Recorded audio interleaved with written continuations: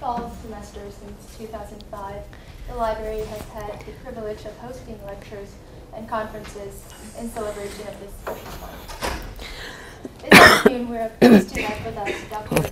Carmen Peraita, uh, professor of Renaissance Studies in the Department of Romance Languages and Literatures, who has been at Villanova since 1993. She is a native of Madrid, Spain, and holds a PhD from the University of California, Santa Barbara. Before coming to the U.S., she studied Hispanic philology at the Universidad Complutense of Madrid and political philosophy at the University of Paris, with professors such as Herbert Marcuse and Gilles Deleuze, among others. She also spent her years studying Arabic language and literature at the University of Baghdad with an IRK scholarship. Dr. Peraita has published extensively, including two books, two critical editions, and a, a translation over and over 30 scholarly papers on a variety of issues related to early modern historiography, the history of the book, and practices of reading and writing. Her talk today, which is entitled Early Modern Multimedia from Valencia to Cuzco, is part of a new project on publication processes in early modern Europe. So, I'm going to stop talking now and turn the stage to Dr. Peraita. Thank you, thank you, Min, for your nice presentation. And thank you also especially to Falvey Library for organizing the Hispanic Heritage Month and for inviting me to present my, uh, my research. So new information technologies like cybernetics or the internet create new challenges in the way societies organize knowledge, disseminate information, and publish texts. But develop, the development of new technologies which radically change the way societies communicate have existed in different time periods the printing press slowly transformed forever the ways early modern societies dealt with writing, reading, communicating, etc. For instance, um, publication in early modern times meant several different things. It could mean printing a text, circulating handwriting manuscripts, or publicly reading a text aloud. Considered published when read aloud in different parts of a city. Likewise, in our society, the internet is rapidly changing the concept of publishing itself. Today I examine a specific publication event that took place in Valencia in the 17th century, which not only emphasized the information that needed to be circulated, but also evoked in a symbolic way the revolution brought along by the new technology of the printing press. Excuse me. So I'm going to read my uh, presentation, but uh, please uh, feel free to interrupt me if you need some clarification when, when I'm reading. At 4 o'clock in the afternoon on Quasimodo Sunday in 1662, the Manifestación, a public procession organized by Valencia, started in the city, in the streets of the city. The event marked the publication of a program of festivities that would celebrate the Immaculate Conception in the coming months. The city has erupted in joy over Pope Alexander VII's brief on the Immaculate, which has also delighted other Spanish cities and the King Philip IV himself. Something special was clearly in order. For previous events, Valencia had announced its program in the usual way, whereby the town crier will walk to strategic points of different neighborhoods, reading publicly the program, accompanied by the jurats or city magistrates and the sound of kettle drums. On this occasion, Valencia devised an unparalleled spectacle. Instead of resorting to the town crier, the city brought out to its streets a magnificent textual, visual, and musical performance. Weeks before the city's manifestation took place, several Valencian institutions, for instance, the nobility or the various academic disciplines of the university, had organized public celebrations characterized by unprecedented splendors, creativity, and extravagant spending. With their manifestation, the city magistrates, representing the city as an inclusive community, were not content to simply emulate the previous celebrations, but sought to exceed them all. In order to announce the different activities of the celebration the city has planned, three triumphal wagons were brought out along the streets. The wagons stage a narrative sequence, a tableau vivant. 200 trumpeters opened the procession. Several heralds on horseback dressed in satin precede the three wagons, each of which prominently displayed the city's coat of arms. Skillful dances performed by the oldest guild of Valencia, I quote, making agile jumps, turning in a variety of ways without making any mistake, gave way to the first wagon of the manifestación of this extraordinary publication event through a public procession. My work today focuses on the similar process of publication staged by the manifestation as recounted by the city chronicle Juan Bautista de Valda in solemnes fiestas que celebró Valencia a la Inmaculada Concepción de la Virgen María. The central role that the printing and engraving presses played in the event and the complex meanings it evoked has thus far not received any critical attention. The first wagon represented hell. It was painted with voracious flames, evil forces, and monsters.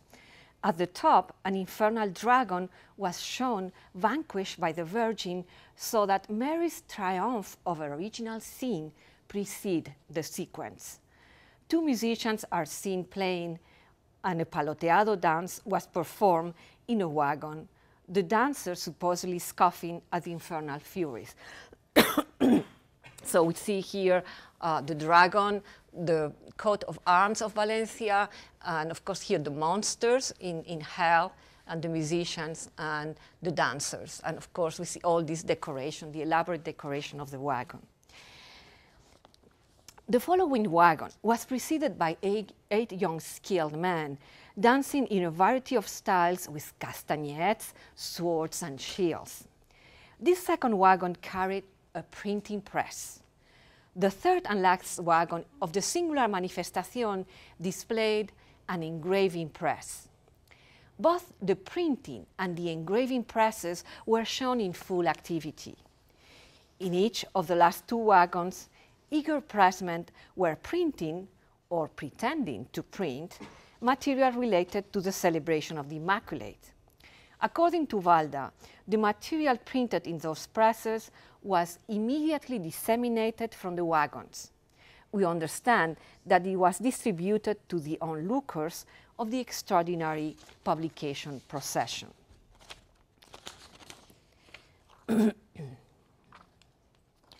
Valda described at length the design of the second wagon beautiful moldings, cornices, columns, and pilasters of gold and refined colors. At the top on a throne was a large sculpture of the Immaculate painted with extraordinary care and pleasant colors. On the front, Valencia's coat of arms with the characteristic bat was prominently displayed. Along the wagon, Several children were dressed as angels in multicolored satin with showy garlands and flags painted in gold. In the center of the wagon was the printing press. Two pressmen, a puller and a beater dressed as angels, could not stop printing and distributing a broadside with a series of poems written, written for the event, according to Valda, in our Valencian tongue with eloquent language and adorned with sharp concepts. Next to the press, elegantly dressed with a cape and a hat, a gentleman held in his left hand a gathering that is a piece of paper folded, using a gesture apparently indicated that it has just been printed. So we have here the Immaculate. Uh, we have here a pelican, with, which was the emblem of Christ, of Christ So the children dress as angels with the flags, and we have here the printing press with the two men, I mean, uh, one with the, the puller with the paper and the beater with the ink, and here we have the gentleman with this piece of paper. Sorry, my pointer doesn't work in this with this screen.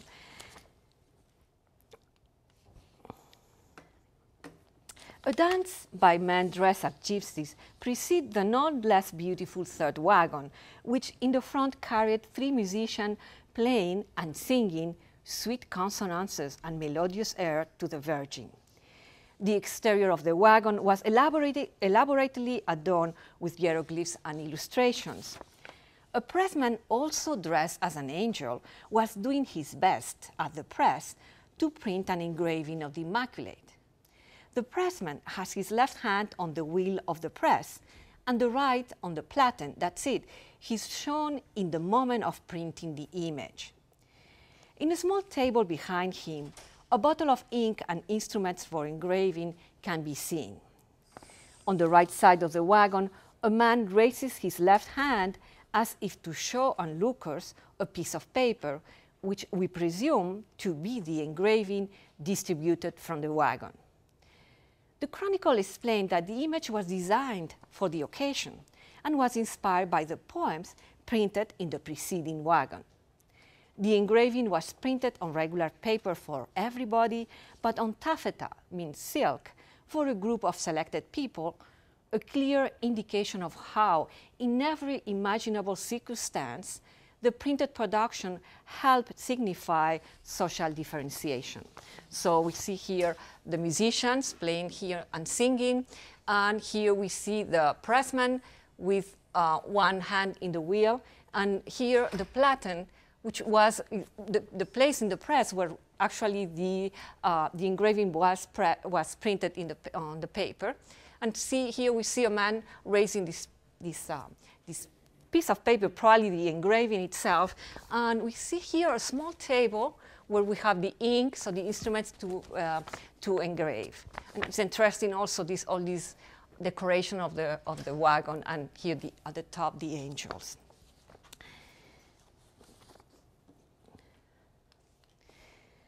The engraving was reprinted, reprinted the following year.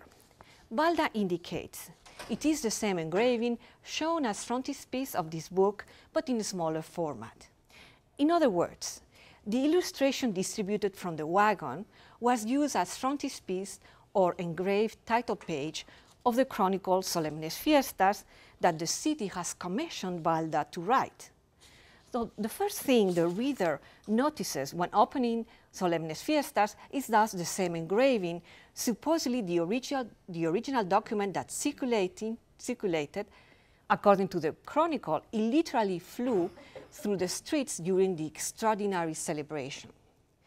The migration into the chronicle of the engraving printed for everybody, the same graphic material circulating and flying over the streets during the manifestation contributed, among other things, to corroborate the authenticity of Valda's written testimony, published a year after the celebration, when readers could still remember having seen the image.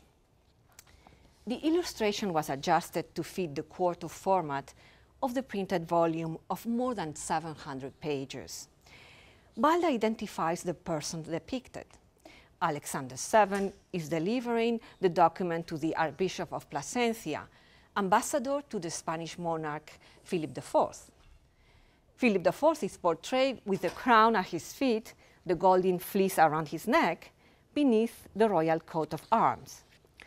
Strangely enough, the chronicle does not mention the king's presence in the illustration, but does mention that the city magistrates dressed in their majestic toga, togas were portrayed in a recognizable way the image clearly expresses the city magistrate's loyalty to the Pope as well as to the monarch, but mainly stresses Valencia's pride in its early devotion to the Immaculate Conception.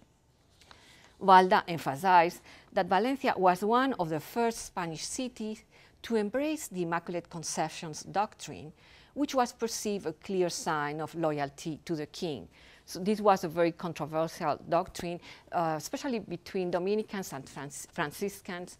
But Philip IV personally supported and was, uh, he was very important, this uh, doctrine of the Immaculate Conception. So it became, at a certain moment, it became a political issue in, in Spain. At the same time that the poems and the engraving were printed and thrown to the spectators, the program itself, listing various events, was published. Along the crossroads of the itinerary, at the very moment where the wagons were crossing, on each street corner, two town officials were posting printed announcements, excuse me, so that all the city will carry the information. The informative broadside included an image similar to the engraving printed in the wagon, that's, the, that, that's the, the image, and explained the rationale for the celebration. It encouraged all citizens to actively participate. Valda described the broadside, which he noted was printed in the largest size of paper, that it was a large poster. I quote, the motivations we led to such glorious demonstrations of joy were written down with elegant prose in our Valencian language, as it has always been the custom. It also spelled out the celebrations the city was planning for the four festive days in May.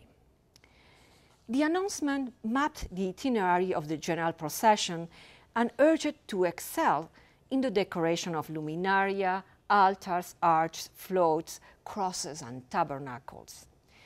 In order to encourage the citizens' participation, the city offered four prizes for each category of decoration, as well for everybody else, depending on the inventiveness and the quality of the ornamentation displayed, the city offered helping with the expenses. So it was a, large poster with the same image that was thrown from the, the wagon, and with a rationale, a text explaining why this celebration, and also explaining all the prices that were going to be distributed.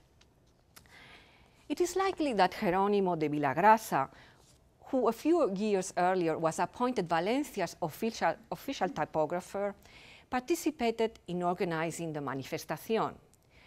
The most prolific printer in the Kingdom of Valencia, Villagrasa was in charge of printing the city's celebrative chronicles that since the mid-17th century were profusely illustrated with engravings, a relatively new technology for book illustration. Probably both the printing and the engraving presses parade through the city belong to his workshop. The astutely designed manifestation display a remarkable tribute to the typographic arts, the relatively new technology of the printing press. It emphasized particular characteristics of print culture. For instance, a poem referring to the printing press placed on the wagon where the poems were being printed, playing on the Valencian word roca, meaning both rock and wagon, underlined underlines the, everlast, the everlasting dimension that typography confers on a printed text. I quote, since Valencia wants its history to be remembered in perpetual memory, it is being published with public demonstrations in the wagon Rock, La Roca.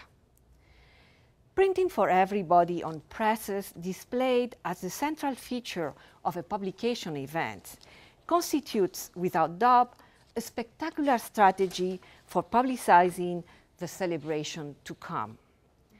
The extravagant living scenario, which printed in front of the onlookers the message to divulgate, exploited in significant ways the use of typography to intensify modes of communication in a still predominantly oral and visual culture. The performance publicized both the celebrative manifestation as well as to the specific messages it intended to circulate. It emphasized the print culture's ability to disseminate information, to easily multiply copies of a text.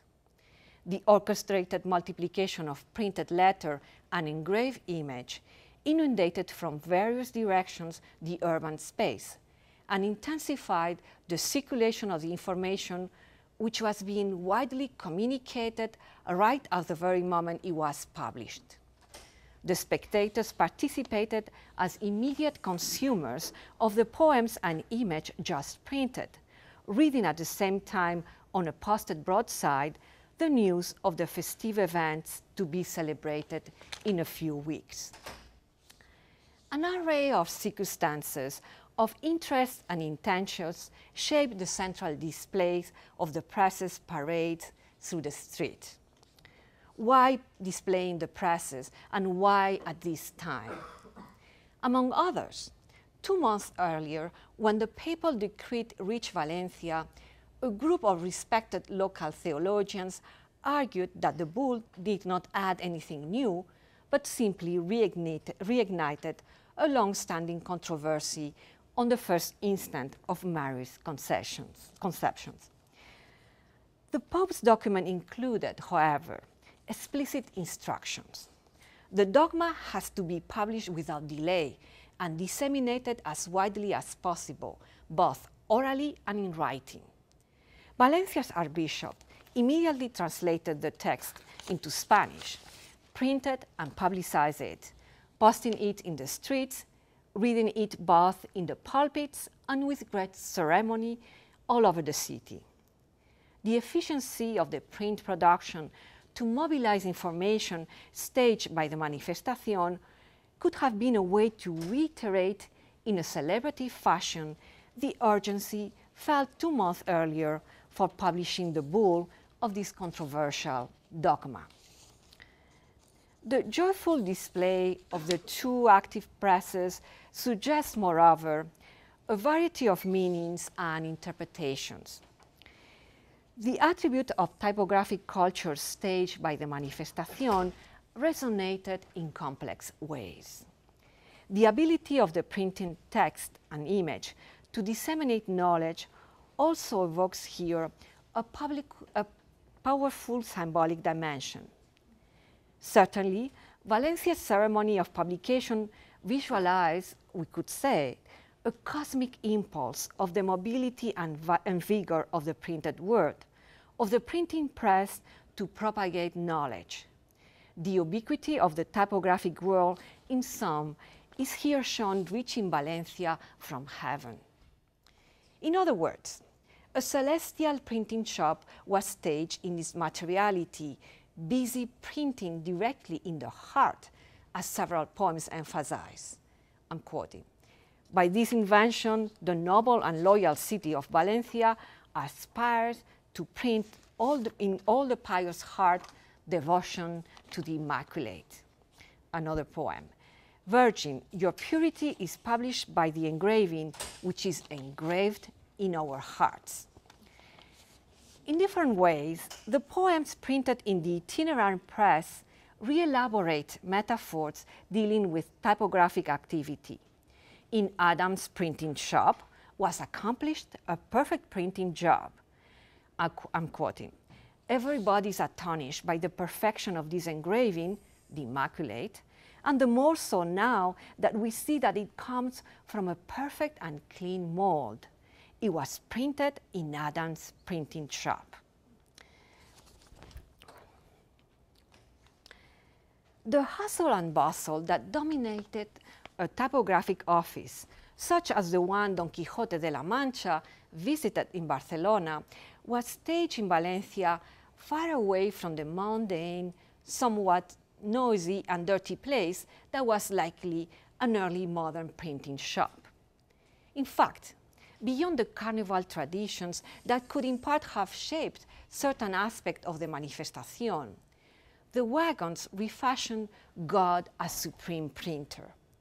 Several poems allude to the creator's activity as perfect typographer, master of the new technology, presenting the gesture of paying attention to the materials and instrument of the trade, for instance, to the quality of the paper.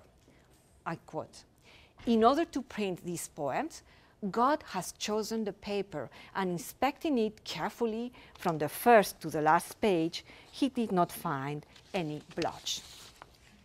Indeed, the wagons dramatize in a divine way, in a sort of contrafactum, a printing task, God's choice of the new technology, transporting to a celestial sphere a terrestrial printing press in ceaseless activity. A poem printed in the wagon mentioned the circumstance. The angels have become printers in order to publish the Virgin's triumph over sin in the first instant of her conception. Preside at the top of the second wagon by the large sculpture of the Immaculate, who vanquished the infernal dragon of sin, maybe in a fashion similar to the printer master surveying his shop, as we see there, the pressman angels worked in a sacred environment at the worldly task of inking the form and placing the paper over the tympan of the printing press. Now, here's interesting. We see this is an engraving press, and we see um, it was it, the, the wheel was really very hard to turn. So we see here an office, a pressman using both hand and even uh, one foot to turn it. So it's very different than what we saw in the wagon. The physicality of printing text and images underscore here a link between graphic materiality and immaculate spirituality. Since the beginning of the 17th century, poets, preachers, and playwrights were rewriting metaphors from the graphic activity which presented the Immaculate as written virgin, as exhaustless book printed by God in order to teach humankind.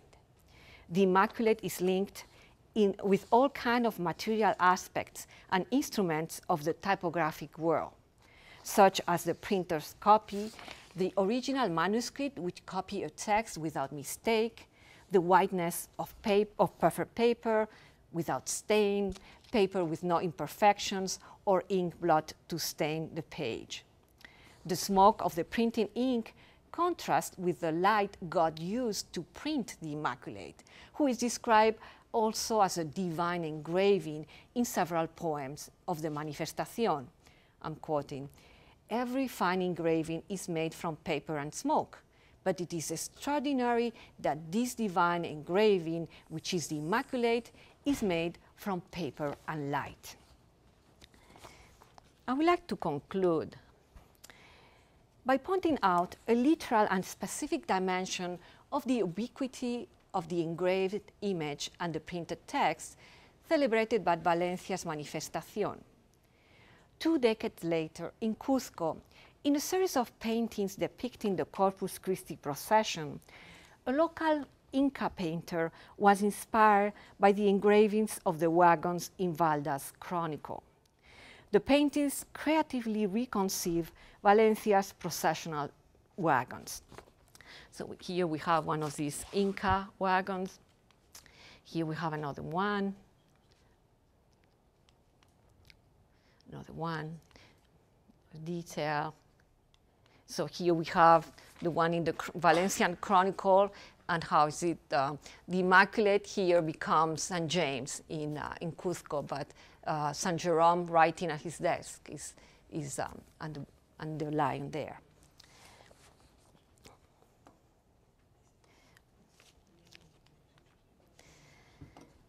The wagon with the engraving press was refashioned as a wagon from the Andean Hospital of Naturales. In this imaginary Cusqueño wagon, the three musicians are depicted at the front. The Immaculate, or I mean, or this here, is replaced by the Virgin of the Candelaria, which was the uh, patron of the Hospital de Naturales. The engraving press is shown with the wheel. The pressman is making the same gesture of turning the wheel, but it has no platen and the man raising his hand to the public on the side of the wagon no longer holds a piece of paper. So we see, we see the same, the press, that part of the press, but the platen, which, as I say, is important place where the, engra- the, the engraving was, was printed, here is missing. So it's only this piece of, uh, of, the, of the press, of the printing press. Now the small table here with the ink and the instruments to engrave also is not, is not shown here and the man with what we suppose is the showing the engraving that has just been uh, uh, print here is raising his hand, so it's the same gesture, but it has nothing, it's empty.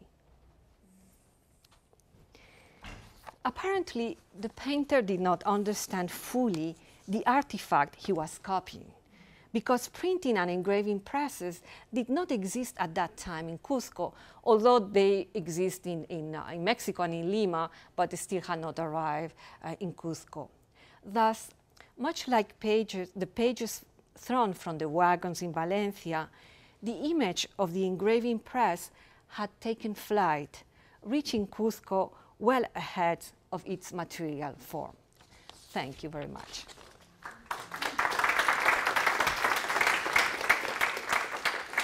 And here we have some other images of this uh, extraordinary procession in, uh, in Cusco, the paintings of the procession.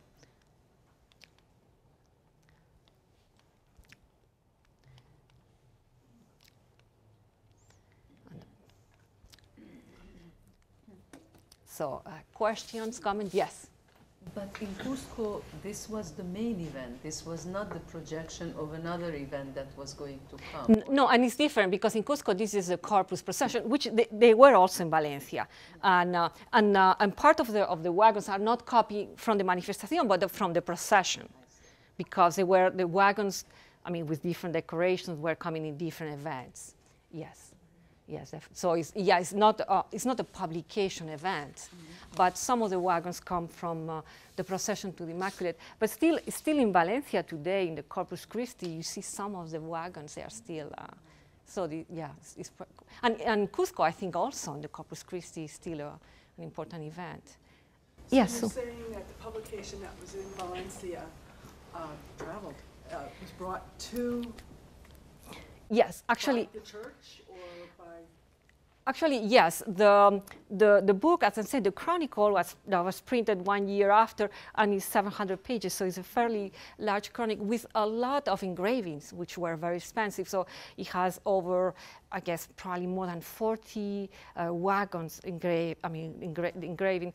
So it was, um, it was brought by the, the Archbishop who, who was um, who was in Madrid at the time it was published in Valencia, and who was an art, coll art collector. So he brought his art collection to Cusco, and we know that he brought a copy of the, of the Chronicle, of Valda's Chronicle. So that's what exactly the, the painter, uh, who probably was not able to read, so really not, didn't exactly know what it was uh, this, this uh, press. But yeah, we know that it was directly copied from, uh, from the book, from the engravings in the, in the book.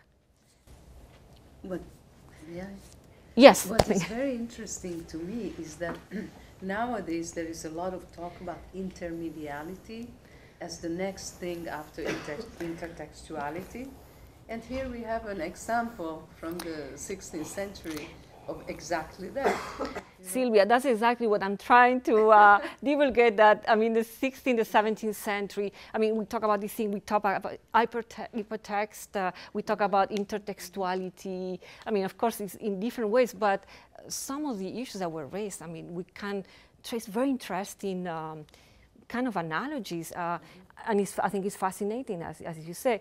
Of course, I also have to say that the opposite. I think the fact that now we have all these debates on intertextuality, on, on new um, on information technologies, help us to look at the past with different eyes. And I think part of the very important interest in the in the in the book in the, the book as, as an artifact comes right at the moment when we're starting to read um, I mean e-books etc etc and we are really starting to see things in the early modern books that before maybe we take for granted so I think it's a very dialectic I mean I think the past has to be studied from the present and vice versa yeah, I think that's, that's uh, it's a lot of fun. We should try to team teach something together. Okay.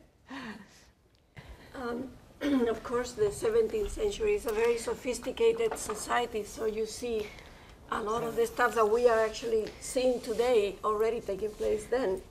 But maybe you said it and I missed it. Why Cusco of all places?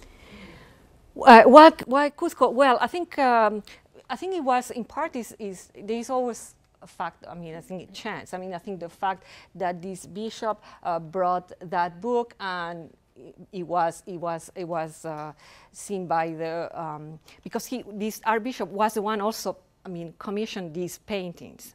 But why Cusco? Well, Cusco still was a very important uh, place at that time and had a very important Corpus Christi celebration. So I think it was chance, but it maybe would not have happened the same way in some other city. So I think there was a bit of chance and the fact that Cusco had um, uh, this very elaborate Corpus Christi. I mean, actually it's interesting because the wagons, uh, Cusco didn't build wagons for the, the, the procession until the 18th century. So it was a completely an extraordinary artifact that they have never seen.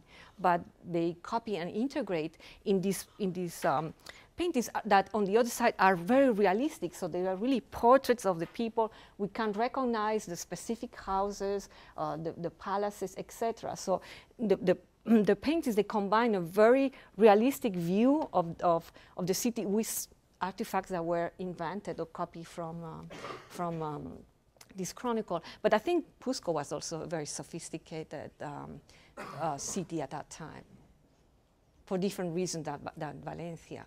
I mean, both of them, I mean, both cities are very peripheral in some ways. This is not the court. And I think that's also very important. Like yes. uh, Mexico, right? Mexico City would have been more important at the time, and uh, maybe um, even Chile, Santiago, or something. Well, uh, no, I think still Lima was was Lima, yeah, right. Lima, Lima. Lima, Lima and Cusco were, but Lima, Lima at that time, Lima had uh, printing presses and, and important convents and also. Maybe more Cusco than Lima, because you have to remember that Cusco was the city Yes. capital of the Inca Empire. Yes, And when the Spaniards got there, Cusco was a huge city. Yes, yes, and it was the center of the very, very uh, sophisticated empire. And actually, all these, as I said, in this in this procession, you see the Inca leaders. I mean, that again, where we can we know the names. I mean, etc. So yes, Um, in terms of the thing is, at at that time still, which is interesting, they were not printing presses in in in, in Cusco, although they were in other parts of the, uh, but of the of, of, Continent. of New Spain. From the, from the ocean. Yes. But of course, it was one of them. I mean, it was the capital of the Inca Empire. There's no question. It was a very important city. Yes. The first printing that was done was done in Quechua, right? So not engraving, but I mean the, the printing. I'm surprised that it was in Lima, because I thought it was somewhere else than Lima for the first printing. Because first printing was done for actually for the Evangelio, for Yes. the evangelization that was in, you know, done in Quechua. Okay. Well, we have. Spanish. It's very interesting. We have at that time. I mean, the, uh, in the late 16th century, we have polyphony in, in Quechua, and it's exactly the polyphony, the European polyphony, but uh, sung in in, uh, in Quechua. So yes, definitely there was a very, I mean, natural thing of mixing the two, the new technologies or the new type of, of music with, or the different type of music with the Quechua. Definitely, yes. Sorry, but I have so many questions. That was very interesting. what was um, interesting to me that I don't know much about this, that the translation of the texts were to not to Valenciano in Valencia, but to Spanish. What does that mean? Because I imagine that Valenciano was a, a very important language at that time in Valencia, and I is this some imperial imposition or there were certain texts that were in Spanish and certain texts that were in Valenciano? Can you Yes, something? I mean that, that's always a, a very important part in all these many uh, cities chronicles uh, printed in the 17th century in Valencia. So they are bilingual. I mean, so certain things are done. Are certain poems uh, could be in Valencian, certain poems are in in, in Spanish. Um, they um, they wanted also to use the, the Spanish because there was a way to communicate with I mean uh, with the court, etc. So it's very so they they. Um, um, the main, I mean, the, the narrative is always in Spanish, but you can, when you transcribe poems, they, po- some poems could be in, in, in Valencian. So is and then sometimes like says like here, you say, well, you know, all the announcements about the, the awards or the rationale that was written in Valencia. It's not transcribed in the actually in the chronicle, but um, other poems, yes, they are transcribed. So, but it's a very interesting issue to see how they change from one language and the other. You don't feel. I mean, there's always the I mean, um, an interesting. Um, trying to keep a balance between the influence of the court and the king, and saying, you know, the king is is, is important, but at the same time, it's not even mentioned. I mean, and and so and um, and the periphery. So it's very interesting how they try to to have a balance between the two uh, the two It's a languages. It's a political step, but not, I mean, especially being in Spain right now, it cannot be really uh, considered as, as they are political statements right now. So uh, you feel, I mean, especially, of course, they, they were different type of festivities or chronicles. There are other chronicles that were uh, financed by the viceroy or by the court, and then it's completely Spanish. But this really was actually the city itself. Um, and so the use of Spanish is, is more a, a, a decision, I would say. But yes, I mean, I think it's a very interesting work to do there, how the Valencian uh, is, is used in this chronicle, and these always parts of the, of the ceremonies that were done in Valencian. But preaching, for instance, was sometimes was done in Valencian, sometimes in Spanish, etc. So it's interesting. Yes. Okay, so to me it was really interesting that the, the two photos that you showed, one of Valencia and one from Cusco, are very identical. And is there, I was wondering, was it, okay, so like the painter, was he being just copying the image that well, or was it, like, is there any chronicle evidence? Is there like any chronicle from Cusco saying that the actual procession was also identical to the one?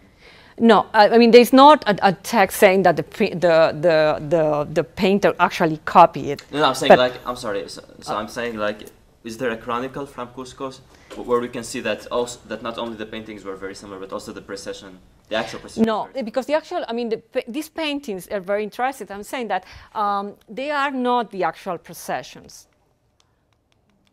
Oops, sorry.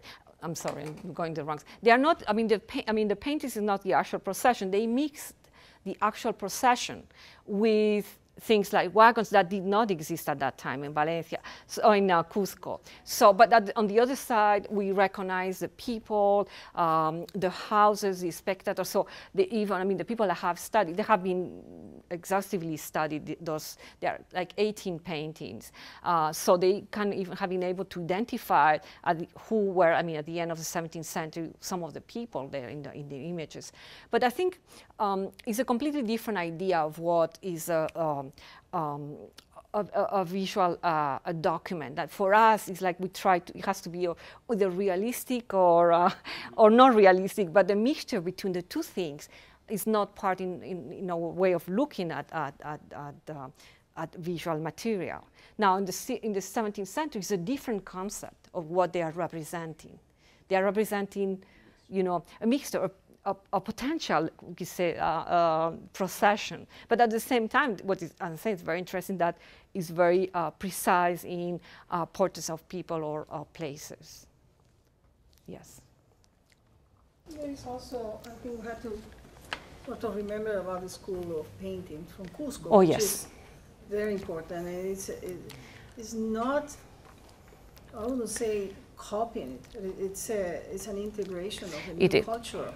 Yes. Because they, they, you know, they, they, obviously they were artists that we had there, and when the Spanish came, this was added.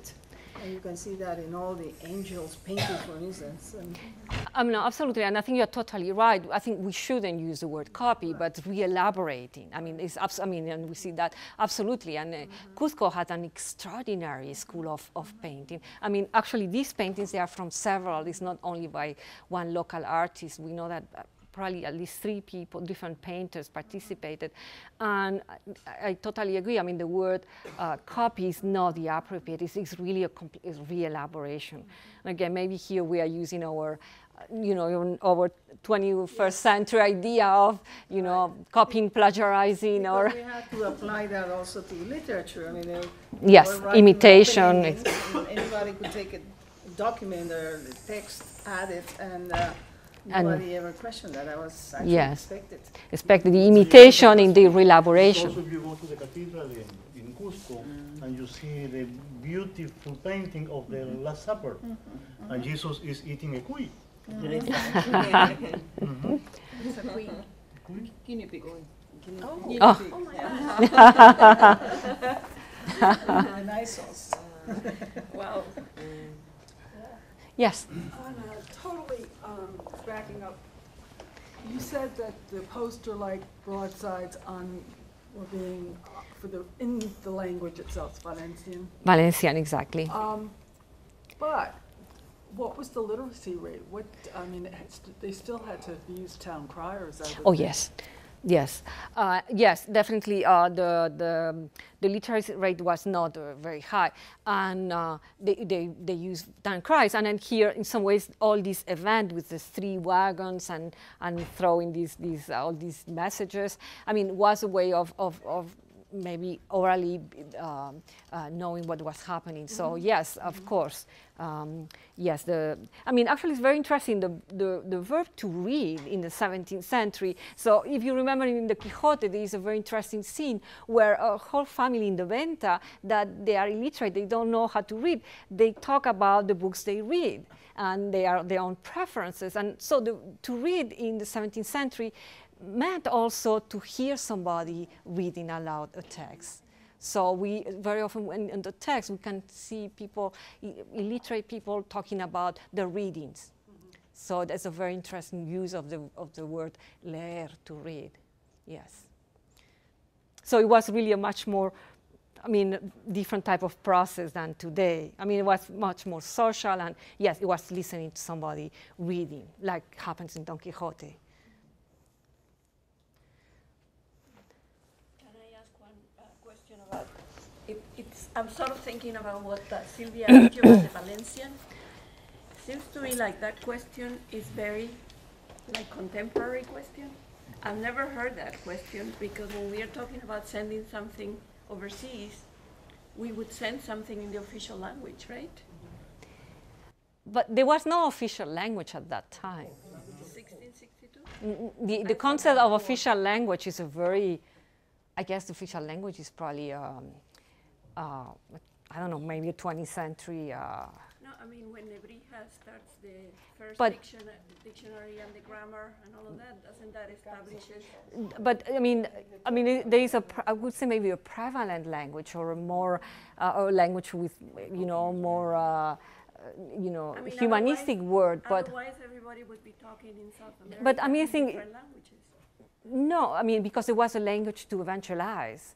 But I mean, maybe the official language was Latin then. I mean, I mean, so, but it was. I mean, the, I don't think there was a, an, of- the concept of official today is so specific, and I, I, I don't I think. thought that when Nebrija started the first grammar, that sort of in a way instituted. Well, Nebrija said this is the language of the empire, but, but that's what Nebrija says. And of course, you know, uh, Castilian was now being all over, you know, all over the place, was becoming an important language of communication. But that was that doesn't didn't mean that in Valencia uh, uh, all the deliberations over the official documents were in Valencian and people were speaking Valencian, and so that that was not. I mean, and there was so if the Valencia wanted to trade with people in some other parts of the of the peninsula, then yeah, probably he would have to use Spanish, but but but it was not a concept that this is the uh, the official language.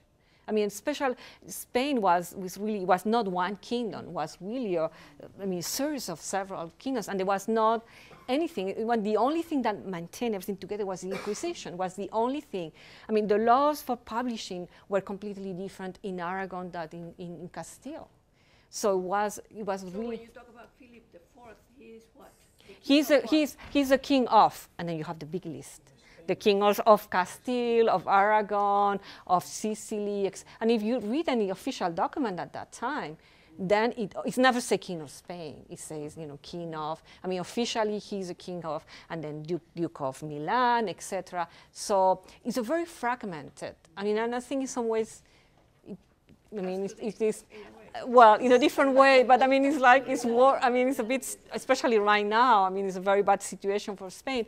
But it was i mean that came with with the french kings. The bourbons were the one in the 18th century who tried to centralize. But with the Habsburgs there was not even laws that applied to all the no taxes or anything. So it was really part of the challenge to rule the empire. It was in every part, it was di- different. And this happened with piracy for books. I mean, that uh, Cervantes published the um, Don Quixote in, in with the privilege in Castile. Immediately, there were pirate editions in Valencia, in, in Lisbon, and in Barcelona. because the same, the, that law did not apply to the different kingdoms. So it was very fragmented. Now, then in the 18th century, things changed with uh, Philip the Fifth that came from France. But in, the 17th century, it's, it's quite a fragment, uh, fragmented uh, um, kingdom. And besides, they have the tradition of accepting other languages much more easily than maybe today. because I mean, when you talk about uh, Toledo and they had all these centers of translation, people from all kinds of cultures and languages, there was no problem then. Well, yeah, the communications were different too. Yes, I think, uh, yeah. So maybe they were not so much urgently needed. I mean, like today, everybody needs to speak English, and uh, but yes, I mean, uh, but still, it's a very interesting, uh, a very interesting uh, because, for instance, in France, yes, and, I mean, in the in the 17th century, there was centralization, and one language became the language of the country, but that never happened in Spain. That never happened in the in the peninsula. So that was even if it was a very large uh, series of kingdoms, I would say, yes. Just a simple question. You said this was a, how large a document? 700 pages? Yes, the Chronicle is 700 Is pages. Unusual for the time, for that size? I- with is- i- printing? It's in- unusual because of the cost. And now, Valencia, by the way, which is a bit like Valencia today, was completely bankrupted, but then spent money that it didn't have in, this, in doing this celebration and in printing a press. But it's all the time, I mean, the chronicles are saying, well, there's, there's basically no money. Um, but yeah, it's, it's, it's, it's, unusual because normally for these uh, special events, you will have maybe a pamphlet of, I mean, like 20 pages, not all these big. Uh, but it was also a very important document for, uh, for, for, and for creating some kind of, of, of urban identity, which was a very important part of the, of the 17th century Valencia, yes true. That was now also something very interesting talking about this. I mean, the way I was able to to study this very large print. I mean, um, this very large uh, chronicle is through the internet. Is because now there is a the, uh, um, a collect, I mean, a collection of in Valencia of uh, a library, a digital library where I can access. And if not, I mean, I think like 10 years ago would have been so expensive to get a microfilm and so expensive, I mean, so difficult to work or, you know, going to Valencia, spending time there. So now I can download that and print it. And so it's also incredible how the, the internet is helping us to work in, to access material in archives and, uh, and or, or absolutely, exactly, exactly. So, which is, so which is, uh, which is fantastic, yeah. So more. Hi. okay, thank you very much.